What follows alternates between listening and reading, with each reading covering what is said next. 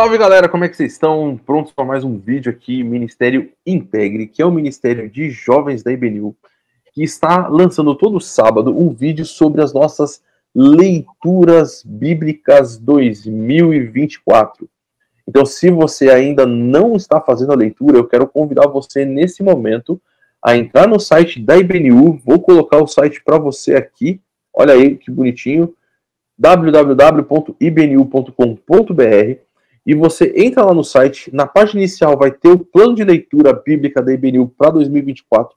Você baixa o plano, faz a leitura durante a semana e no sábado você entra aqui no canal do YouTube da IBNU para poder fazer o quê? Para ouvir um pouquinho e ter esse bate-papo com a gente sobre como foi a sua leitura, quais são os aspectos mais importantes. E é claro, você vai ouvir aqui o meu comentário, o comentário do Dani, o comentário do Matheus, mas a gente quer ouvir o seu também. E como que você vai fazer isso? Coloca aí na, na nos comentários. Escreve aí, coloca, poxa, isso também foi interessante para mim, ah, aprendi muito sobre isso, e a gente vai fazer nossa leitura compartilhada. E para a gente começar agora, vamos dar, fazer uma rodada aqui de um salve para a galera, começando com o Dani. Tudo bom contigo, Dani? Opa, tudo bom? É bom estar aqui mais uma vez para a gente comentar sobre esses capítulos que tem tanta coisa rica para a gente falar, hein? É isso aí, o Dani que está nesse visual novo aí, com esse espelho para falar espelho, espelho meu aí. Ah, existe. Eu não sei, não, não vou fazer a pergunta aqui, qual seria a pergunta correta para ele, mas de qualquer forma, tá, tá, tá, tá, ali, né, aí vocês podem acompanhar. E você, Teteus, como é que você tá, Matheus? Tudo bem, graças a Deus. Tenho aprendido muito aqui com vocês e feliz da gente estar tá concluindo mais um livro aí de Deuteronômio hoje, né? Gente, isso está sendo interessante, né? Porque a gente está fazendo uma leitura e, e, o objetivo é fazer a leitura da Bíblia no ano todo, né?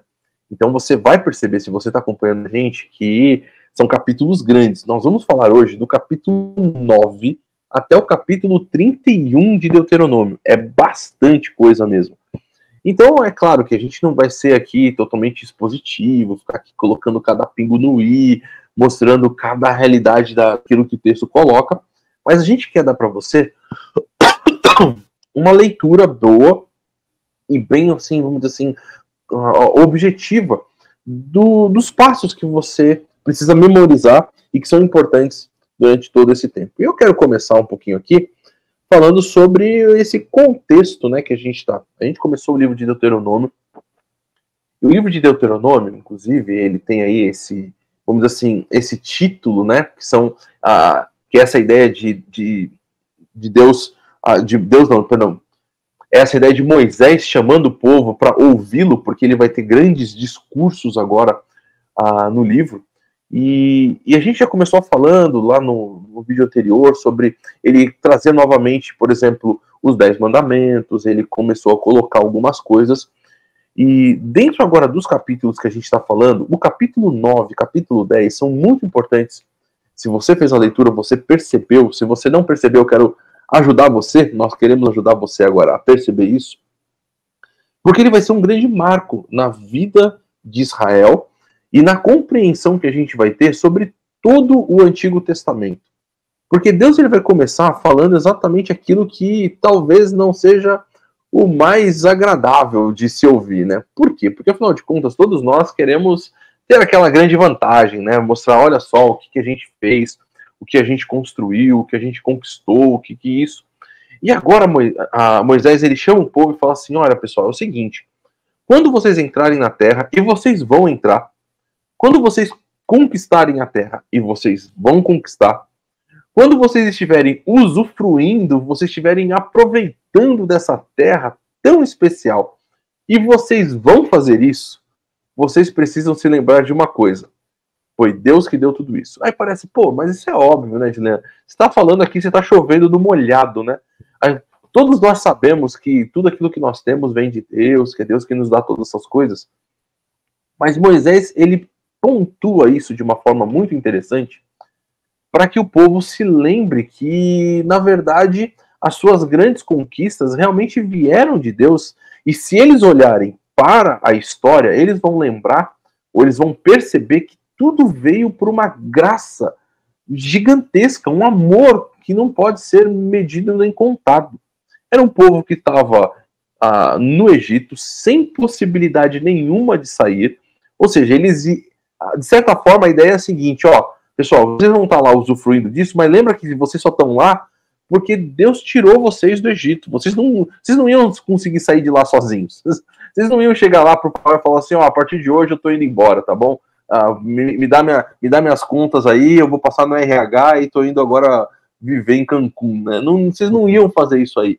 Vocês tinham que passar. E Deus foi que libertou, Deus caminhou com vocês no deserto. Deus é que está colocando vocês aqui dentro.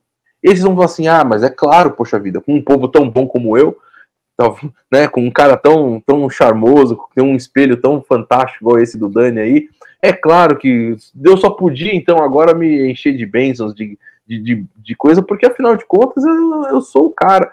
Deus deve ter ficado pensando, pô, ainda bem que agora em 1980 o Dilean nasceu para eu poder abençoar ele, porque eu estava esperando essa coisa tão grande, afinal ele é uma, uma, pessoa tão especial. E Deus vai falar, gente, vocês não são é nada, vocês. Tudo foi base da minha graça, e na verdade vocês deveriam ter ficado no deserto pela rebeldia que vocês lidaram ah, durante todo esse tempo.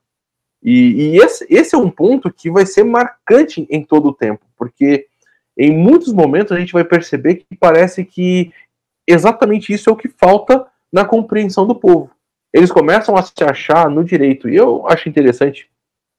Eu tive um professor que ele tinha uma frase que era bem interessante. Vamos ver todo mundo, todo mundo grava. Ele dizia assim, ó: Privilégios presumidos promovem a perda da percepção de práticas prejudiciais. Olha só, hein? A frase, a, a, frase, a frase interessante professor Carlos Oswaldo, ele falava sempre isso, ele falava privilégios presumidos promovem a perda da percepção de práticas prejudiciais.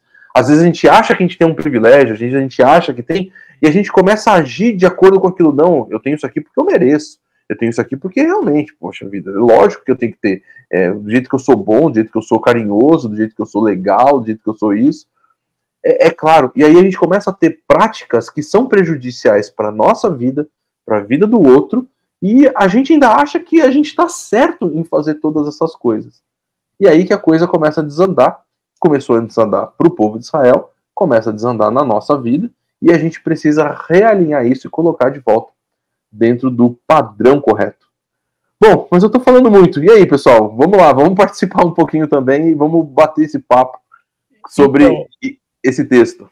Eu, eu, ia, eu já ia falar, Dilean, que isso tudo que você falou é muito, muito interessante, porque uh, parece que é uma questão até um pouco, que eu diria, é uma questão natural do ser humano uh, querer merecer isso. E isso vem dessa, dessa dimensão toda do nosso coração que está contaminado pela queda, né?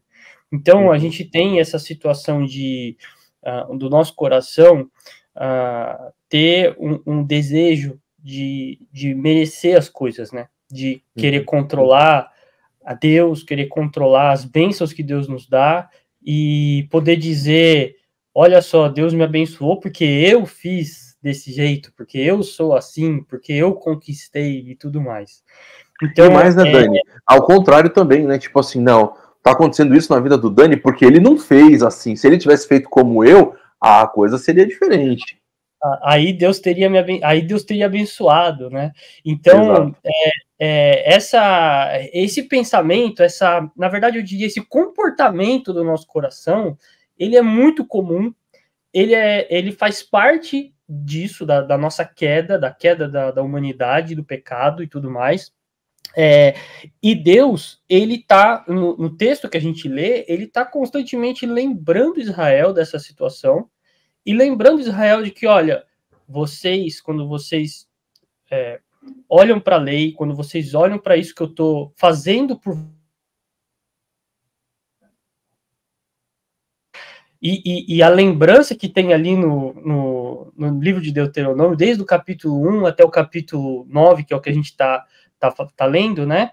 É, é, é, a lembrança de tudo que Deus fez por eles. E aí, quando chega no capítulo 9, Deus ele, ele solta aquela frase que eu acho muito legal, né? Não é por causa da sua justiça ou, ou de sua retidão que você conquistará a terra, Quer dizer, tudo isso, na verdade, está sendo cumprimento da promessa. Tudo isso está sendo parte daquilo que eu prometi para os antepassados de vocês. Né?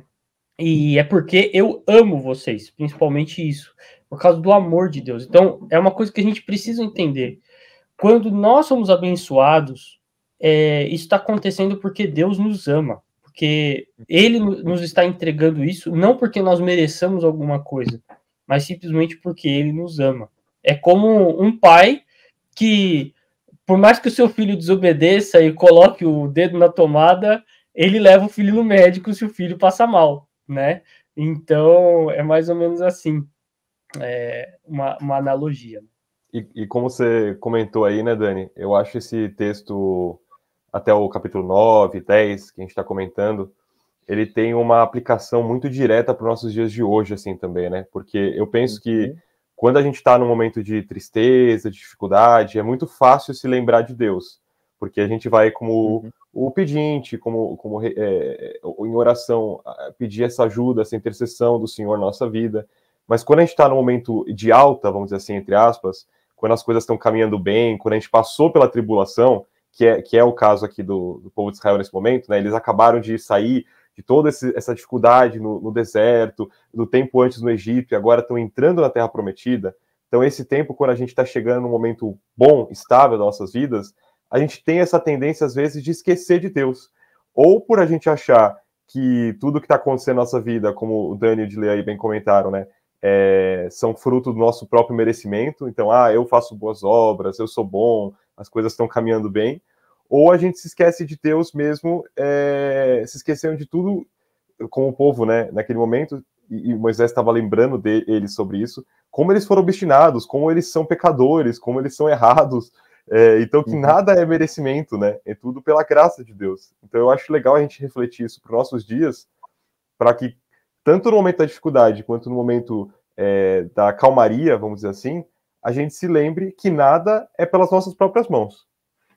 E, e ainda pegando o gancho nisso que você falou, Matheus, que eu, que eu acho muito importante a gente lembrar dessa aplicação para os nossos dias, é que no, no finalzinho do capítulo 10, é, tem um, tem um pedacinho ali desse, desse capítulo no final que Deus vai falar um pouco sobre isso, e ali tem, uma, tem um verso que é interessante. Ele diz assim, verso 19: Amem os estrangeiros, pois vocês mesmos foram estrangeiros no Egito.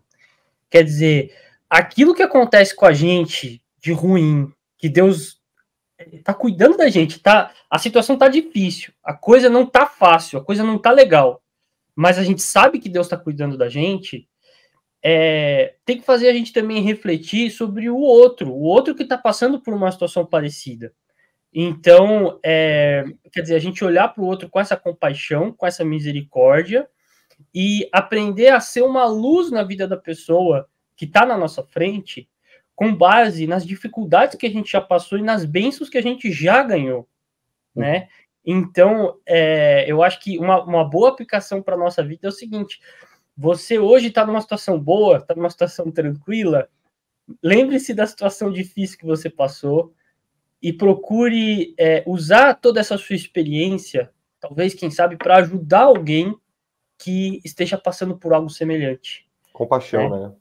Ter essa compaixão. Então, acho que a, a situação difícil, muitas vezes Deus permite isso acontecer na nossa vida para a gente poder aprender com ela. A, a, a dificuldade, a, a, o deserto é a escola de Deus, né?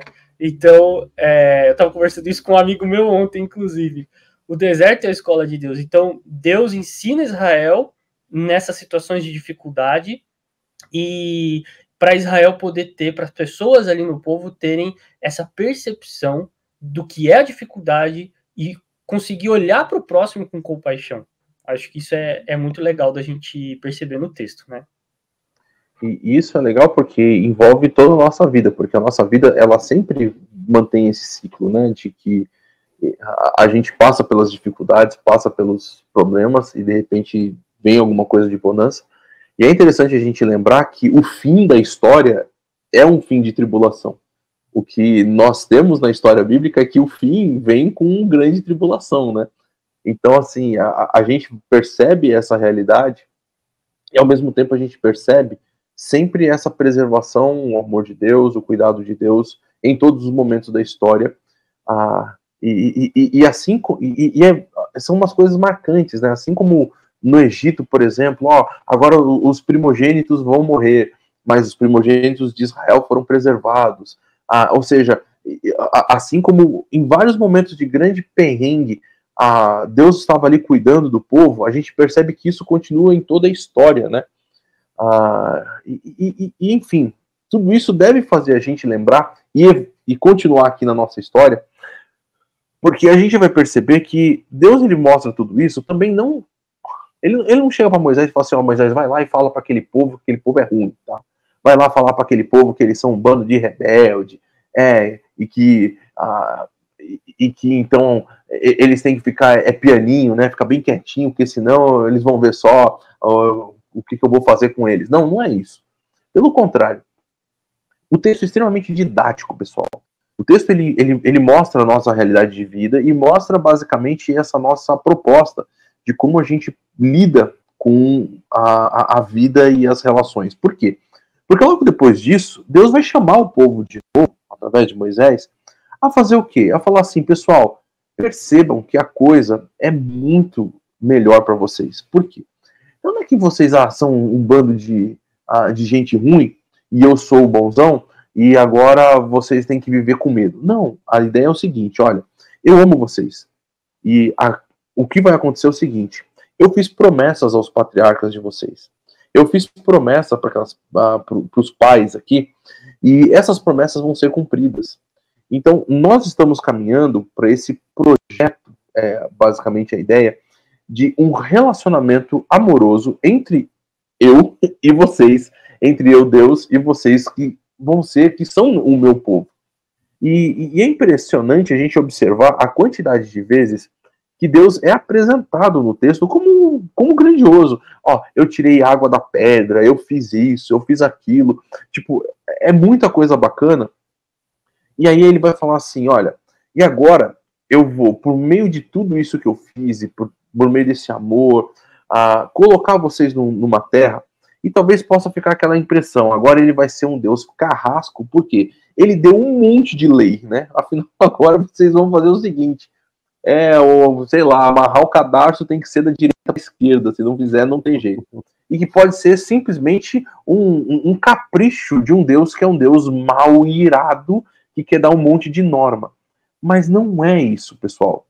agora o que a gente vai ter é uma sequência de lembrem-se de tudo que eu fiz, lembrem-se principalmente de quem eu sou, do meu caráter, da forma como eu me apresentei para vocês. Eu não me apresentei como um Deus irado, eu me apresentei como um Deus de salvação, eu me apresentei como um Deus de graça, eu me apresentei como um Deus que está presente na vida de vocês, que caminhou com vocês no deserto, e agora que a gente vai caminhar numa nova perspectiva, morando nessa terra, o que, que eu quero?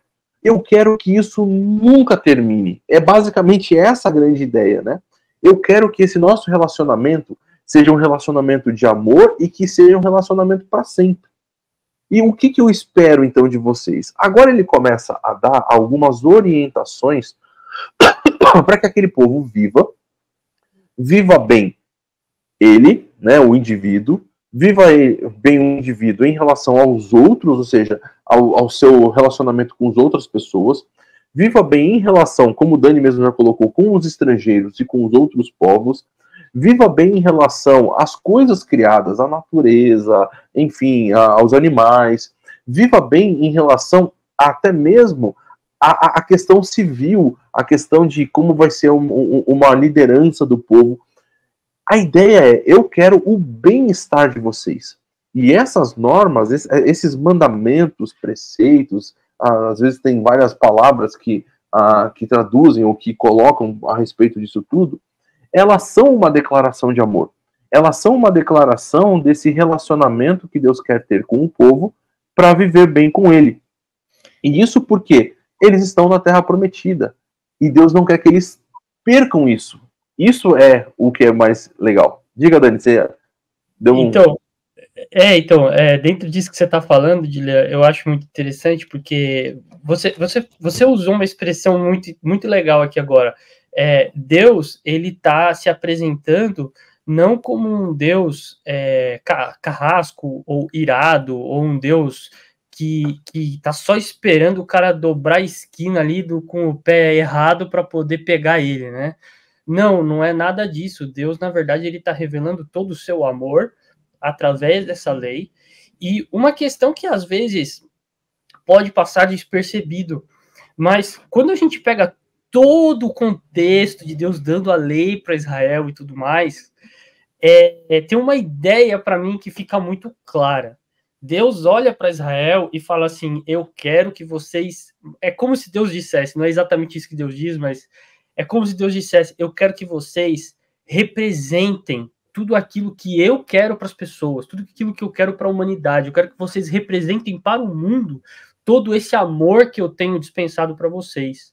E é, Deus quer que Israel seja diferente, seja uma luz para as nações.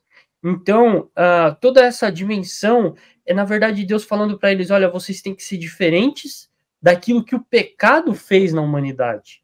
Então, eu vou ensinar para vocês como que vocês podem ser diferentes.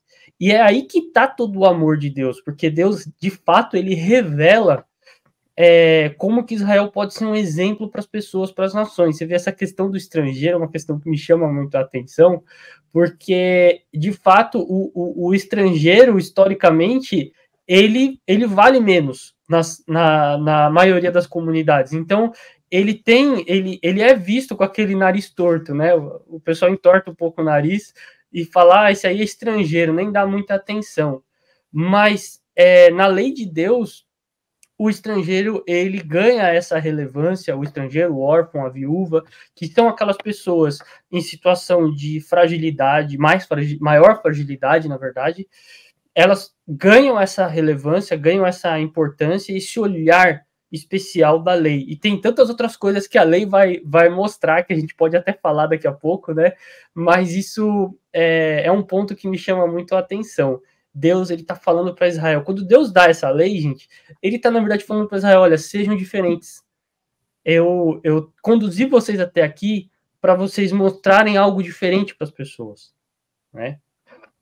Não se amoldem aos padrões desse mundo, né? Trazendo para o Novo Testamento. É, hum. Mas é, Dani, é, também para mim foi muito forte esse, esse ponto. Eu acho que a, quando eu comecei a ler a Bíblia, eu acho que quando eu é, peguei talvez pela primeira vez a parte de leis, assim, eu fiquei pensando muito nessa coisa de austeridade, de uma coisa é, formal, algo assim. E agora, fazendo essa leitura dessa vez, eu finalmente vi a lei, como você e o Dileia colocaram, como o amor de Deus, assim, muito profundo, muito profundo mesmo. Porque ele Às vezes parece uma coisa militarizada, né? Tipo assim, eu mando, vocês obedecem é... aqui, tá? pancada na orelha, né? Exato, e ao contrário, né? É uma coisa tão amorosa, de pai mesmo, como, como o Dani estava falando, de atenção com esses grupos é, que tinham, que, que, as pessoas torciam o nariz na época, então o escravo, é, as viúvas, o órfão, e até uma coisa, que aí talvez o Dani, como advogado, pode até falar melhor, mas até uma coisa assim de base de direito civil, né? Tem uma coisa de que as, a, a proteção da mulher, da honra da mulher, do casamento. Então, a... Vai, vai lá, Dani a gente costuma até dizer que isso aí meio que é a base da dignidade da pessoa humana. O conceito de dignidade da pessoa humana moderno, ele nasce dessas leis. Incrível, cara. Eu, eu, eu acho sensacional, porque aí você lê coisas como é, Deus falando ali nessas leis, né? Maldito quem fizer o cego errar o seu caminho, quem negar justiça ao estrangeiro, que como o Dani falou, eram pessoas marginalizadas da sociedade sobre usar dois, dois pesos, duas medidas, então ser uma pessoa justa, honesta. Tem todo essa, esse arcabouço ali é, de dignidade mesmo, que mostra um amor muito profundo, né? Isso me marcou muito nessa leitura. Muito, muito interessante. E realmente, ah, bom, a gente aí voltando a essa questão do Antigo do Novo Testamento, como o Dani, o Mateus chamou, né? A gente vai lembrar que a lei de Deus é perfeita. E aí quando a gente olha para tudo isso, a gente percebe o quanto ela é de fato? Ela é perfeita porque ela nos conecta com o próprio Deus, e ela é perfeita porque ela nos conecta com as pessoas, com a criação e com o bem-estar, né? Então, assim, é interessante como a gente vê, porque a gente tem, às vezes, umas, umas expressões meio espiritualizadas da coisa, né? Tipo, a lei de Deus é perfeita, é perfeita porque ela veio de Deus. É claro, e, e isso também está certo, né? Mas aí quando a gente olha para isso, a gente vê que a sociedade até hoje está tentando criar alguma coisa que se for, que ah, vamos pensar no direito humano, vamos pensar na dignidade, vamos pensar naquilo e a gente vê que tudo isso já está lá. Deus ele sempre teve esse amor, esse cuidado para com a sua criação e sim, ele quer que nós que como projeto inicial, vamos lembrar lá de Gênesis, né? Nós fomos colocados naquele jardim uh, em Adão para cuidar da criação. A criação envolve, sei na fauna, flora, e a criação envolve a terra, a criação envolve tudo, e a criação envolve a outra pessoa que também é criação de Deus, né? Então, nós estamos aqui para cuidar de tudo isso, para cuidar uh, e demonstrar o amor de Deus em relação a todas essas questões. E aí o texto ele vai se desenvolvendo e vão tendo várias leis e várias questões aí, até o ponto de que Deus ele vai deixar isso, vamos assim, ah, bem claro através de Moisés, capítulo 27, né, do texto, a gente já está indo mais para o fim, de certa forma a gente vai pegar aí um, um novo discurso, né, como eu falei, são vários discursos grandes que Moisés está fazendo, nós temos agora esse discurso número 2, é o discurso basicamente dessas leis, né? Onde Moisés vai trazer essas, essas normas. E agora esse terceiro capítulo, né? Um capítulo, ou, ou melhor, um terceiro discurso que vai fazer uma ratificação dessa aliança, ele vai trazer algumas informações de lá de trás de novo. Ele vai falar: olha, pessoal, essa terra eu prometi aos patriarcas. E aí a gente tem algumas questões que são interessantes, né? a gente estava até conversando um pouquinho antes de começar, porque o texto ele vai envolver algumas, a, a, a, algumas realidades que precisam ser bem entendidas. O texto ele apresenta alianças diferentes em cada uma das coisas, né? Então nós temos alianças que são chamadas de alianças unilaterais ou alianças incondicionais, ou seja, que foi feita de Deus para a pessoa, foi uma promessa que Deus fez e que vai acontecer porque Deus assim decidiu e Deus prometeu. E nós temos aquelas alianças que são chamadas de bilaterais ou alianças chamadas condicionais, ou seja, elas envolvem dois lados, por isso que é bilateral, envolvem uma condição para que isso aconteça. E aí é interessante a gente perceber que aquele segundo discurso estava conectado com essa bilateral, com essa condicional com esse fato de que vocês vão obedecer, que vocês vão isso, que vocês vão aquilo. Mas agora esse terceiro discurso, ele começa a relembrar que tudo isso acontece por causa dessa aliança incondicional, unilateral. Eu prometi aos patriarcas essa terra. E eu vou dar essa terra como promessa, porque foi assim que eu fiz, né? E, e isso, mais uma vez, envolve esse amor de Deus. E é interessante que, em vários momentos né, do texto, a, a, essa ideia de um coração ele está conectado, né? Ele, ele é falado em vários momentos nesse texto. E, e, e, é interessante que a ideia aqui principal é o seguinte: olha, Deus está colocando essa aliança no coração de vocês. Esse mandamento ele está colocando no coração, o que envolve que Deus ele não queria realmente uma obediência cega, que é aquilo que hoje em dia talvez seja uma das ainda mais, maiores dificuldades que existem porque a pessoa ela faz assim, não, a, a, a negócio é o seguinte, eu só posso tomar a garrafinha, cada, cada vez são no máximo três goles. Se eu der dois goles, porque eu perdi o, o ar, ou se eu tô com muita sede, dei quatro goles, por Deus, agora vai me castigar, a coisa vai ser pesada, é soco, porrada e bomba, né?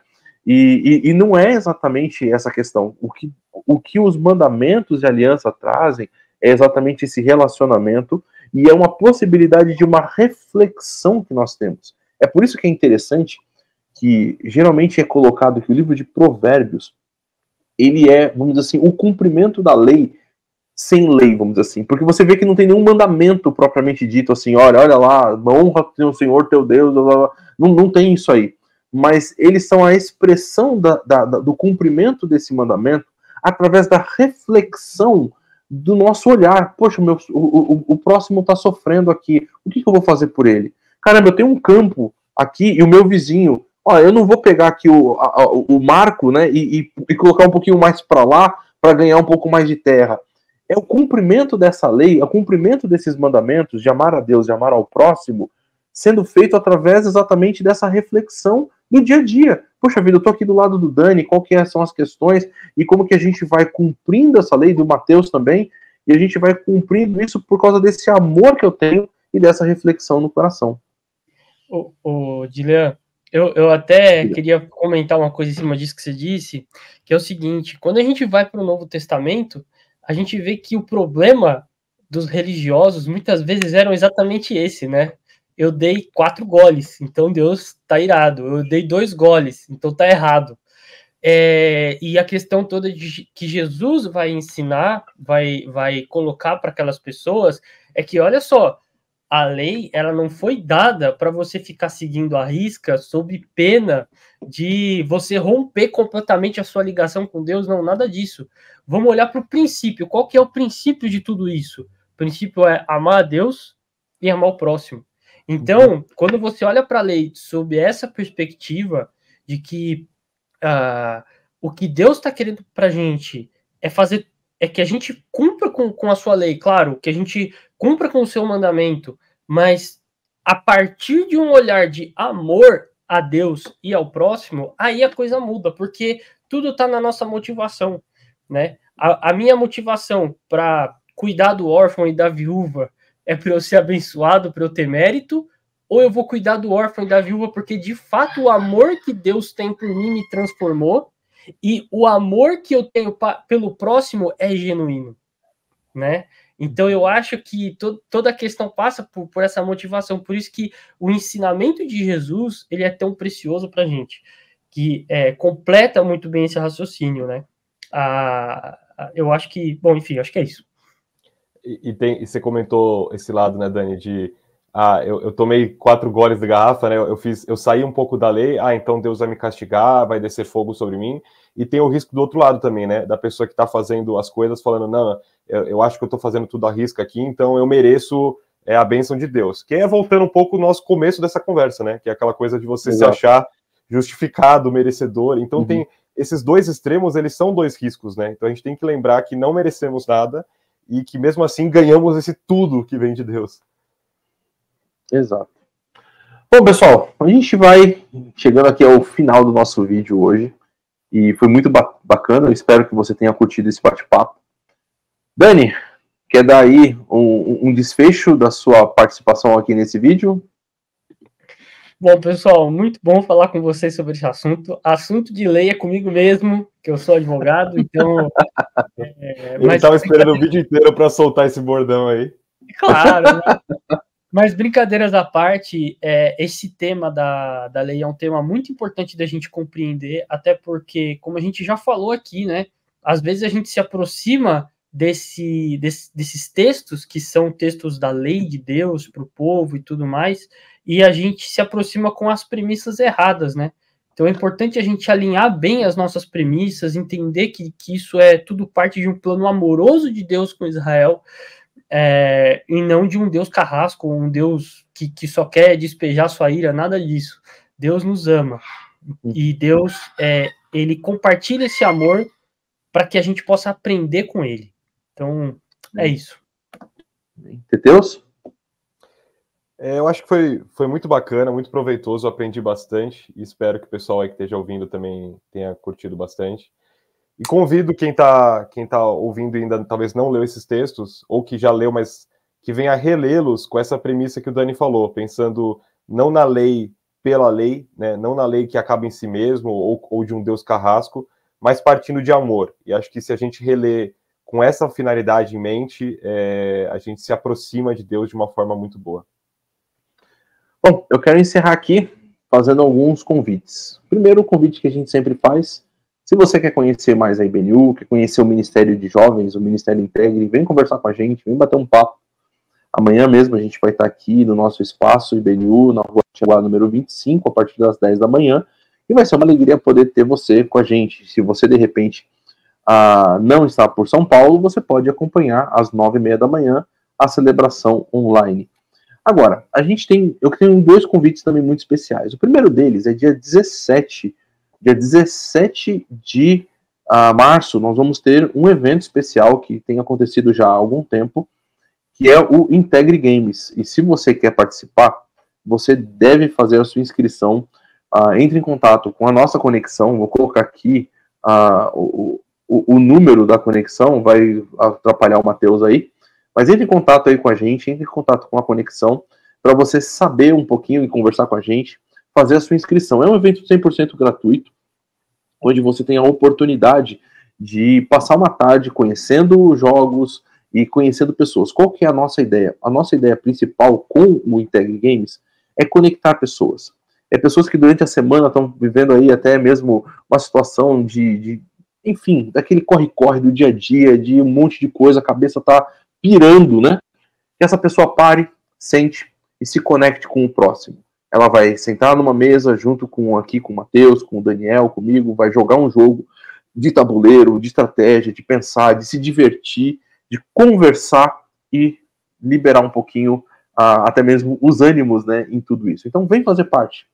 E na Páscoa nós vamos ter um evento muito especial na IBNU que é uma ópera. Então você está convidado a participar desse evento, convidado a estar conosco. Você pode buscar também através da conexão as informações dos dias, horários, e você venha fazer parte desse evento muito especial, comemorando a Páscoa, a ressurreição de Jesus. É isso, pessoal. Um grande abraço. Até sábado que vem. Tchau.